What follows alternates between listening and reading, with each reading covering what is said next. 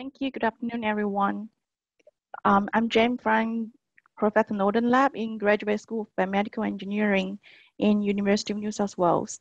Um, thanks to the organizer for this great opportunity to present our work in microfluidic mimicry of embryonic circulation that enhances the HOX-A hemogenic niche and human blood development.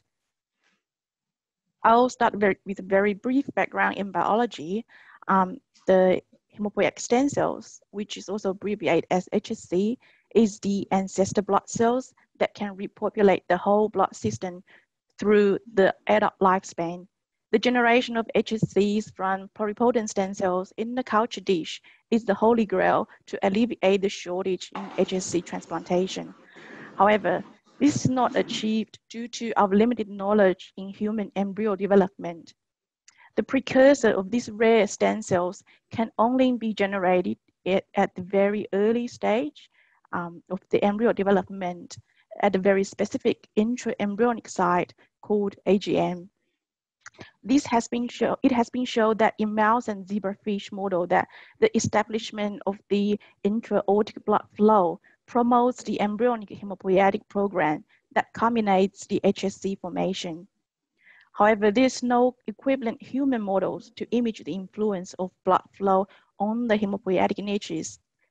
Thus, a lab-on-a-chip microfluidic system are ideally suit, suited to microscopically observe cellular process at the single cell level and in real time using fluorescent molecular markers. Mm, here, we develop a microfluidic culture system to mimic the study, to mimic and study the influence of pulsatile fluid shear stress and circulations on an embryonic blood development. The device has a cardiac chamber, which is on the right side of the design, and a pneumatic actuated on-chip cardiac valves, which are denoted as a rectangular. They were connected to a microfluidic circuit to simulate pulsatile recirculatory flow. The PDMS device was manufactured by soft lithography using 2D and 3D laser lithography. On top right of the slide, it is an SEM image of the silicon wafer mold on the cardiac valve side. The arc-shaped valves were 3D printed by Nanoscribe in ANFF Queensland.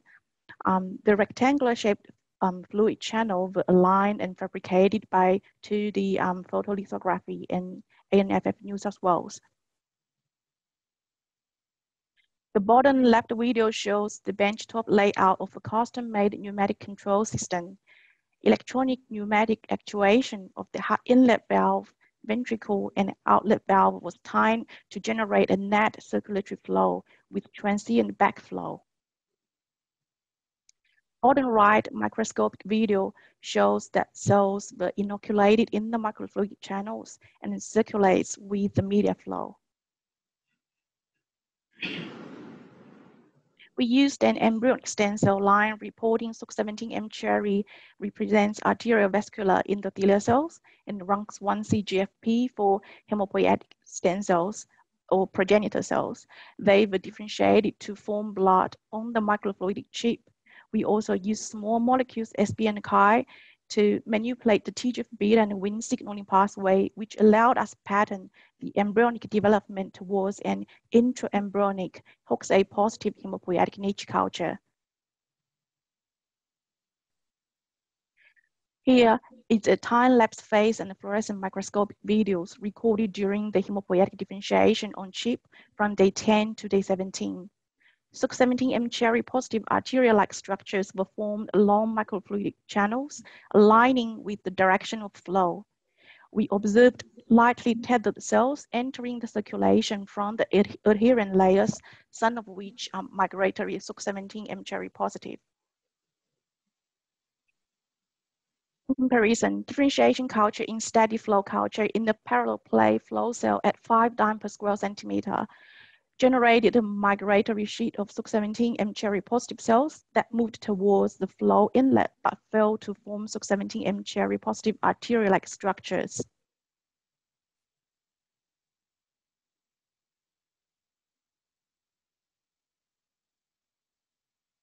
Analysis of the device harvest, harvested blood progenitor cells in day 18 of differentiation, we showed that circulatory flow promoted the release of proliferatory RUNX1C CD34 double positive blood progenitor cells into the circulation from SOX17 positive arterial-like structures that lining the microfluidic channels.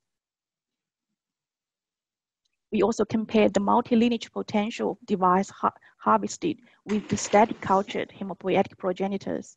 RUNX1C CD34 double positive precursor cells could form most of the blood cell types, including monocyte, macrophage, granulocyte, erythrocyte, and megakaryocytic progenitors. Pulsatile circulatory flow has also particularly promoted the CD34 positive cell expansion. Single-cell RNA sequencing of the 18 culture with another orbital shaking settings was used to confirm that circulatory fluid flow and shear stress favors an intraembryonic, which is HOX-A positive, rather than primitive, which is HOX-A negative, derived blood development, particularly promotes arterial endothelial cells and cycling hematopoietic progenitors. So in summary, this is the first in vitro study demonstrating enhancement of human embryonic blood formation by fetal hemodynamics using a lab-on-a-chip human stem cell differentiation model. Um, uh, so this project is led by Associate Professor Robert Nordon, and I would like to thank all the past and present members in Nordon and GSBME lab, as well as all our collaborators lab. Um, I would like to especially thank you ANFF New South Wales Node and Queensland Node for their great help in this project and in fabrication of the device. I would also like to extend our thank you to ANFF South Australia Node um, to their enormous help in another project developing at the moment in the lab. Though I can't talk about the project at the moment, but um, for sure it will end it with great scientific advance and um, great industry product. Thank you. Um, I'm happy for any questions.